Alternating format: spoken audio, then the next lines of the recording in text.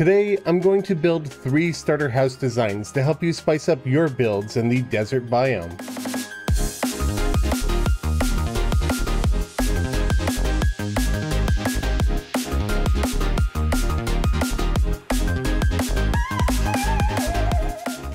Greetings friends, Khaios here. Y'all seem to really enjoy my last video where I showed you guys three starter house designs using materials found only in the forest, and there were a lot of comments requesting me to do more of these for different biomes.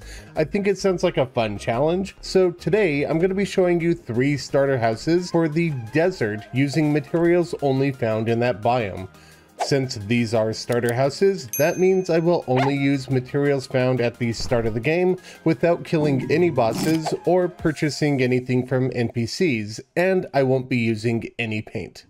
But before we jump into the video, if you're looking to purchase any of Terraria's official merch, Re-Logic and 86 have reached out to me to give me an affiliate link. For any of their merch that you want to order, use my link below and you will not only help support Terraria and Re-Logic, but you'll help support me and this channel as well. And if you've been following their merch, they recently restocked their very popular Zenith keychain, or you could pick up my favorite, the Destroyer t-shirt. A huge thank you to everyone who helped support Terraria, Re-Logic, and myself by checking out the merch with the link below. Just like the previous video, we will be starting this one with a smaller basic house using only materials craftable from the inventory or workbenches. The second house will be a larger underground version with any materials crafted from all of the available crafting stations from the desert. And the final house will be one that uses all of the available materials, no matter how rare or difficult they are to achieve, as long as they come from the desert. Last time I restricted myself to gathering materials only on the surface layer of the world because there really isn't an underground forest biome in Terraria, but for the desert there is absolutely an underground version of it, so I will be allowing myself to access any of the materials found as long as I'm standing within the underground desert. I say it this way for one main reason. The desert is obviously one of the biggest sources of sand in the game, and sand makes glass. But ironically, stone isn't really found throughout most of the desert, so crafting a furnace to make the glass becomes a bit of an issue. And this leads me to the technicality. The edge of the desert has easy access to stone, dirt, clay, and silt that you could reach without ever leaving the desert. If I include these materials, the list of what we can build with increases massively. If I don't, the list is extraordinarily tiny, because without a furnace, I can't even make sandstone brick or smooth sandstone. For that reason alone, I'm going to allow me to use materials that I can easily reach without leaving the desert, which will be dirt, clay, silt, and stone, as well as anything I can craft with them. Now, it's quite common for deserts to have an oasis, which will come with palm trees, giving us access to palm wood. A ton of crafting recipes in Terraria can use any type of wood, so that means we're going to have a lot of the same materials for today's build that we had in the forest biome. In fact, every one of these chests has building materials from the forest biome video that will be usable today as well. But what about new materials? Obviously, we have all of the versions of sand and the blocks and walls that they make. Don't forget that we could still create a graveyard biome by dying seven times and collecting the tombstones, and that will give us access to not only the natural versions of sand walls, but it'll give us a few fun items like rolling cactus, antlion eggs, and placeable life crystals. Some of the materials that were more on the rare side in the previous video are common now, such as cobweb and gold. With the help of an extractinator and desert fossil, both of which should be relatively easy to find in the underground desert, we have access to all of the gems, a bunch of coins, and we can even add silver, tungsten, gold, and platinum, as well as sturdy fossil to our materials list. And of course, everything that they can craft. For today, we will have four full furniture sets to craft with. Palmwood, cactus, sandstone, and glass. On the more rare side of things, your world may have a pyramid, if you can find it. They're usually buried underground, but it's far from guaranteed, so the banners that we can get from it will end up in the rarity chest, along with all of the other banners from desert enemies. Food is somewhat rare this time around as well because shaking palm trees in an oasis does not drop food like they would in the beach unless those palm trees are crimson or corruption variants. That means if you want access to Poo Block, you will either have to find banana splits from killing any of the antlion types, or nachos from killing angry tumblers during a sandstorm. Underground desert cabins will give us access to a lot of furniture items, but the biggest impact will be access to all of the 14 desert paintings, as well as giving us potential access to every statue in the game outside of the ones that you would find in the jungle temple. Of course, getting the exact paintings or statues that you want will be a bit more difficult, but if you aren't after anything specific, pictures and statues are easily found in abundance here. This is the full range of building materials that are available from the surface desert, underground desert, and grabbing what you can reach from the edges of the underground desert. So now it's time to look at our first build. But first, I just quickly wanted to let you all know that there won't be any videos on my channel for a couple of weeks. If you've been watching my live streams, those will also need to take a week or two off in December, if not more. I'm currently in the process of moving out of my apartment, and I need to spend the next couple of weeks focusing entirely on packing, cleaning, and getting set up in the new location. Then when I get set up at my relative's place where I will be staying for about a year before moving across the country, I'll be able to return to weekly content and things might even pick up even more than weekly. If you'd like to help the channel keep its algorithm standing during this two week break, be sure to leave a like and comment on this video and subscribe if you haven't already. Thank you. Now for the first simple house design, I'm going to be making an Adobe style house. This will essentially take the shoebox house and enhance it to make it a bit more interesting for this starter house. These can also easily be stacked or expanded and still look great. As usual, I'm starting on the ground floor with the false foundation.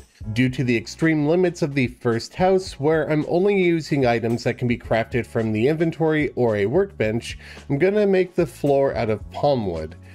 I make the terrain a little bit more interesting by adding patches of dirt and hardened sand.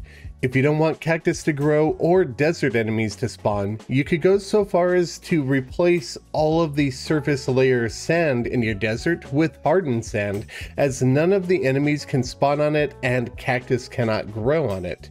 But I'm just going to do spots of it here and there because I'm not too worried about it. For the foundation of the house, I fill in the area with cracked dirt wall as we get a graveyard biome without breaking any of the crafting rules. For the adobe structure itself, I'm going to be primarily using hardened sand. This has a similar texture to sand block, but it has the added benefit of not falling with gravity. Typically, I would usually blend sand and hardened sand blocks together for added texture throughout the building and then paint all of them brown or orange. But since I'm not working with paint for the starter house and the two sands would stand out too much unpainted, I'll save that for a future video. Now it's time for some more palmwood, which will be used to enhance the foundation using palmwood wall and fences, and the wooden support beams that are traditionally seen poking out of the sides of the adobe houses will be palmwood block. Again, I would normally use a different material in a more advanced building video, but for now, palmwood works just fine. We don't have echo coating at this point in the game, so when it comes to making windows within the house, there are going to be gaps in the walls rather than invisible walls. This means we are severely limited to how big the windows can be. In order to make a valid NPC house or a house that you can use a bed in, the gap in the wall cannot be any larger than 4 tiles in size. So all of the windows in this build are going to be 2x2 tiles, which actually works quite well for the Adobe style. Palmwood wall and platforms make up the support beams along the ceiling of the rooms, while palmwood fences are used for support beams in the background wall, particularly right next to the windows as it can visually widen them slightly. Instead of a stairwell, I decided to make a rope ladder to help give access to the top floor. Furniture, as always, is going to be dependent on what you're doing with your builds. They could be storage, NPC houses, decorative, or a combination of any of them. So as always, I'm just going to throw together an example of what you can do, not what you have to do, and I'm going to make two valid NPC rooms. The furniture in use is sandstone, which we can't really craft using a workbench because we don't have access to a furnace to give us smooth sandstone block, but thankfully you can actually find a lot of the sandstone furniture already crafted within the desert cabins found underground. But even if you didn't find enough furniture for this build, it would look just as good to replace all of this furniture with palm wood. And with that, we have a very basic starter house that looks quite nice using materials either found or crafted from the inventory or a workbench. This example has two valid rooms, but you could easily stack this style of house on top of each other to give you as much or as little space as you need for your base. So for the next two houses, we'll be using any of the available crafting materials found within the desert. That leads us to the second, larger underground build. I did consider building this house like I did with the last video inside of a hill but made out of sandstone to make a desert theme, similar to what I did with the forest biome, but then I came across a pyramid in my example world and thought it would be a lot more fun to just make a large house as a pyramid instead. Since this house will be both above and underground, and working with free-falling sand is a pain in the butt, I'm just going to dig out a massive area under the surface where I will lay out the underground structure, and then I will fill in any gaps with sand later. I went with sandstone slab for the surface blocks of the pyramid because personally I like the larger brick design. I do use some sandstone brick in this build that will be blended in with the slab in various places, such as the floors of each room. I wish that there was a sandstone accent slab like we have with the stone slab, as I would use that for added detail throughout this build, but unfortunately that isn't a thing. To make the rooms more interesting in shape, I add extra blocks into the corners and I slope them. Then the top of the pyramid is capped off with gold brick. With all of the floors of the pyramid mapped out, all of the excess areas are filled in with sand or sandstone brick. For the background walls, the majority of the pyramid is going to use sandstone brick wall, as there isn't a sandstone slab wall for whatever reason. These walls are also used to line the outside entrance to make the overhang a little bit more detailed. Palmwood fence sits behind the tall gates which function as the doors for this build. I use gold bricks and stone slabs on the background walls next to the floor for added detail with a line of stone slab along the ceiling. To bring even more interest to the walls, rows of sandstone columns act as support beams, with wooden beams lining the space where a ladder will be placed to give us access to each of the floors. I was about to start working on the furniture at this point when I had a fun idea to put a bit of a crumbling wall and a small antlion cave intersecting it. This will serve no other purpose than to just add more interest to the build. The cave is made using sandstone blocks, so there aren't any issues with gravity, and because sandstone has a better shape overall for caves than hardened sand or sandwood. Some of the areas of the cave have hardened sand and sand on them, just to vary the texture of the area a little bit, and then it was time to move on to the decorations. Starting from the top to the bottom, this pyramid will have a throne room, entryway, bedroom, treasure room, and the antlion cave. The throne room is very straightforward, just throw in a couple of thrones, a painting, and some statues. The workbenches will make it a valid NPC house. For the entryway, I wouldn't typically get access to bookcases at this point because we wouldn't necessarily have books, but sandstone bookcases can be found in underground desert cabins, so if you get lucky, grabbing one or two of these shouldn't be too much of an issue. The rest of the pyramid uses sandstone furniture with bast statues and the hieroglyphic paintings, as well as mannequins with armor sets that you could find within the desert. Gold is easy enough to find in the underground desert, either through chests or the extractinator, so having piles of gold coins throughout this build should be simple enough. The Antlion Cave uses cobwebs as well as antlion eggs and rolling cacti, both of which can be crafted at a graveyard biome. And that brings us to the completed pyramid base. I'm rather happy with how this turned out in design, though I wish we had a more interesting naturally generated pyramid to look at. This type of base is easily expandable underground and can be rearranged to fit any orientation that you need for your base. I just suggest having the rooms fit in within a general pyramid shape even when underground so that you don't lose the feel of a pyramid. And to make your rooms a little bit more interesting like I have here, you can offset your rooms from level to level to keep from having a boring repeating pattern. The last two builds were more ancient in design, so for this one I'm going to jump forward in time and make a cliffside modern house. I'm also going to be utilizing the Oasis in a weird way for this one, so let's hop straight into it, starting off with building the cliff. You might not want a cliff for your starter house, and this is completely optional, so feel free to leave it out of your own design, as it does make traversing the area more of a pain in the butt.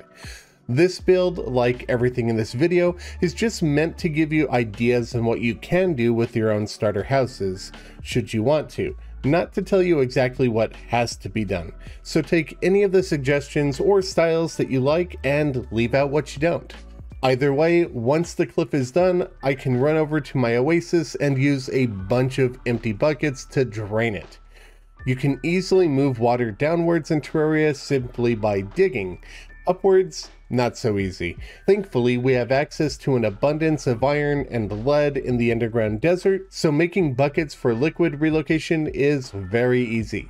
Why am I doing this? Well, let's swing back over to the cliff and find out. Firstly, the house gets a false foundation, as I tend to do, using stone slab and stone accent slab, with palm wood in the area where the interior floor will be. Now the back end of the house, I'm going to be building a raised overhanging swimming pool using some stone accent slab, gray stucco, and glass block with glass wall in the background for it.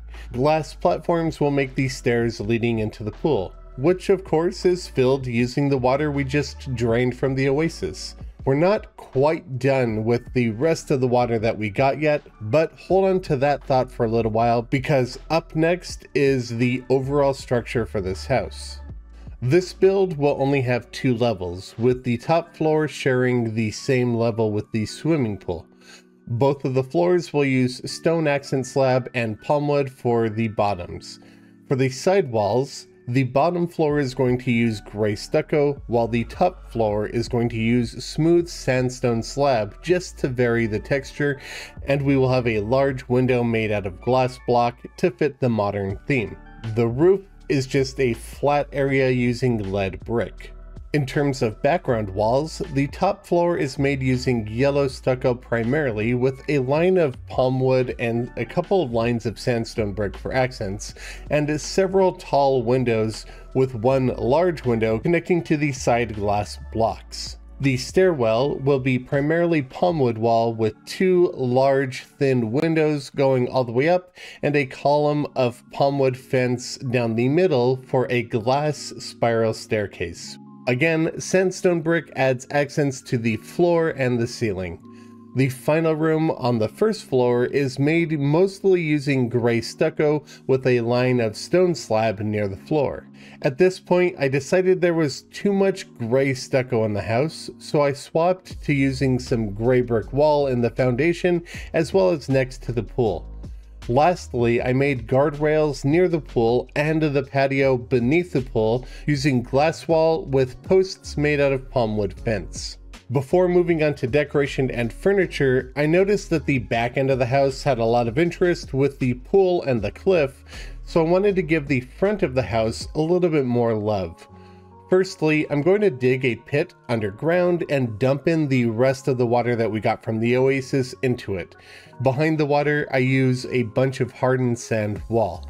This water will be completely hidden in darkness once I place the blocks back above it, but it has one huge function as it's going to allow oasis plants to grow in the front yard in any spot that I have normal sand.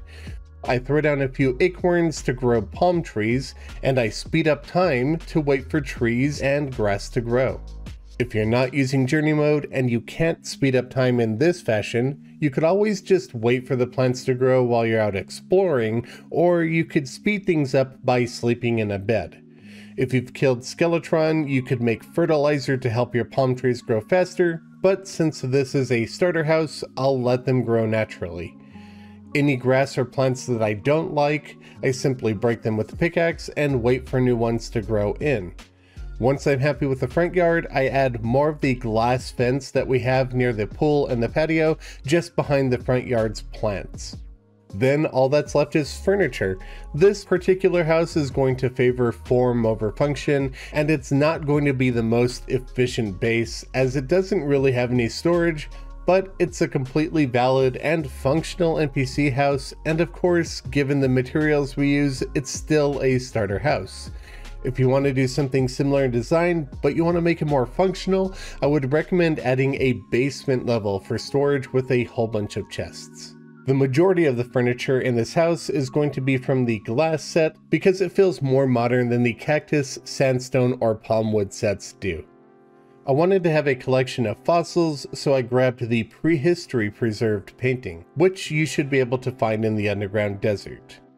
The bottom floor is mostly a lounge and dining area in this example, while the top floor is a bedroom. The patio beneath the pool has two glass sofas, and the area to the right of the pool gets a picnic bench, though personally I'd love to add some sun chairs here. I've only ever seen them in mods. Speaking of mods, let me know in the comments if you'd like to see me start doing some build videos and build tips with some modded content. And with that, the final cliffside modern desert starter house is complete. I'm really happy with the overall design of it, and I hope you all are too. So today we have the starter adobe house with basic materials, the large pyramid base, and the fancy modern desert house. I hope I've given you some ideas on how you could build some good looking starter desert houses of your own. Let me know in the comments which of the three were your favorite and which biome you'd like to see me do starter houses in next. A huge thank you to my biggest supporters for the month. Hypik3, Sarcasm Not Intended, and Vaultec Rep 77. And be sure to check out my channel artist Mythical Water linked in the description below. Thank you all very much for watching. Be back in a couple of weeks with a new video.